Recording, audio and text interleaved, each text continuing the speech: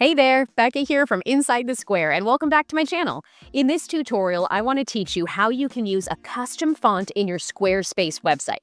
I'll show you how to link to free Google fonts and what to do if you have a font file that you need to upload so you can use it with the different text types available in Squarespace. Now, we've got a lot to cover today and I've included important timestamps in the description below, but I'm going to go ahead and share my screen so we can get to it.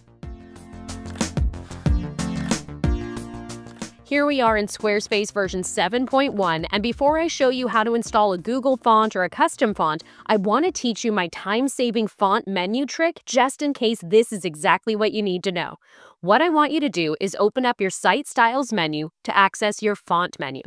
At the bottom of this font menu, you'll see a link for Assign Styles. If you click on this, it opens up a list of over 80 different things in your Squarespace website that can have their own custom font. Now here's where the magic happens. In this website, I know that I'm not going to use a menu block, and you'll see that my menu block is assigned to match a heading or a paragraph font style. Let's click into the Menu Nav font option, and instead of heading, I'm going to select a custom font. This lets me choose a different font family from the list of all of the fonts available in Squarespace. Let's scroll through here to pick a creative one. How about Sail? We'll click on Sail. And now Squarespace has uploaded the Sail font to be used on my Squarespace website. Now again, I'm not using this menu block in my Assign Styles menu.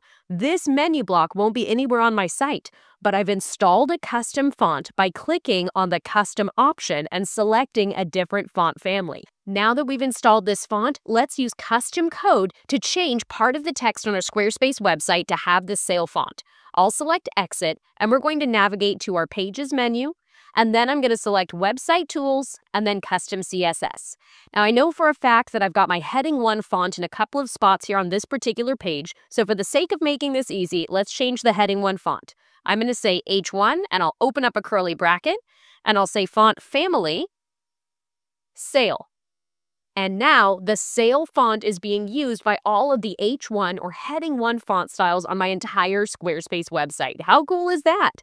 Now, let's say you want to change the font for just an individual content block in your Squarespace site. You can use something known as the block ID. There's a free Chrome extension. I'll link to it in the description below. If you click on this Chrome extension known as the Squarespace ID Finder, it's going to display the unique ID for everything on a Squarespace website.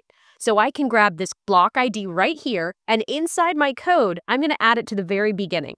And this code now says, hey, Squarespace, when you see this content block, and inside of it is a heading 1 text type, make sure it has this font family. Pretty cool trick, isn't it? Now, you could also use a custom selector if you know the selector for an individual item in your Squarespace website, like this section right here. This is a list section, sometimes referred to as a people section. And here inside my Squarespace CSS cheat sheet, I can grab the selector for that list item title. That's this right here. Now inside Squarespace, I can say, if you see a list item title, give it this custom font. And check it out, the Sail font is now used for that list item title. We can add other font and text properties here too, like maybe we want to change the size of this to be a lot bigger. I'm going to add exclamation point important to make sure that size works. There we go. All right, maybe a little too big. How about we use 25px? Perfect. I like that font size a lot better. All right, now let's talk about installing a custom font. That was my favorite trick for finding one inside the Squarespace font database. But let's say you have your own custom file or you want to choose a Google font. Let's do this together. I'm going to open up fonts.google.com and here we can see a gigantic list of all of the free fonts available from Google. Let's say we want to filter this down and do a playful font that happens to be Art Deco. What do we have here? Oh, this is a fun one. Okay, monotone. Let's go with that. I've clicked on this font and now I have the option to select Get Font on the top right hand side. Here I can download the font file from Google by clicking this option and now that I've got my font file, we're going to go back to Squarespace. We're here inside our custom CSS panel, and I'll show you one last time how we got there. From our main menu, what I want you to do is select Pages, and at the bottom of your Pages menu, you'll see Website Tools and then Custom CSS. This is where we can upload a custom font to our site. In this case, we're using a font that we downloaded from Google, but these are the same steps for installing your own custom font. Click on the Custom File options and click this plus sign, or drag and drop the file from your computer, and Squarespace will add the font file to your website files. Now we need to name this font so we can use it, and we've got to do that with some custom code. I'm going to paste a code right here that you'll find underneath the video, and this is how we name the font in Squarespace so we can use the characters in our custom code. I'll remove this placeholder text, and instantly we'll see a list of all the files that I've uploaded to my custom files. Select your font file from this list, or you can click the drop down and select it here, and Squarespace will paste that URL here inside our custom code. Now you can name this font anything you want it to be. I'm going to give it the name that Google did, which is Monotone monotone. I don't know why I can't say that word today, but there we go. So let's go ahead and use that font. Let's change the H1 to the new font family that we've just uploaded. I'm going to say H1, which stands for heading 1, and then I'm going to repeat the font family and the custom name right there. And check it out, our fonts instantly update across our website to be the new font that we've installed. Now scrolling down here at the bottom, I've got an example of multiple heading types. Maybe you want this for a heading 1 and a heading 4. You can add a comma after H1 and you'll be able to add it to the heading 4. And it'll be used for both text types. Just separate your selectors with a comma.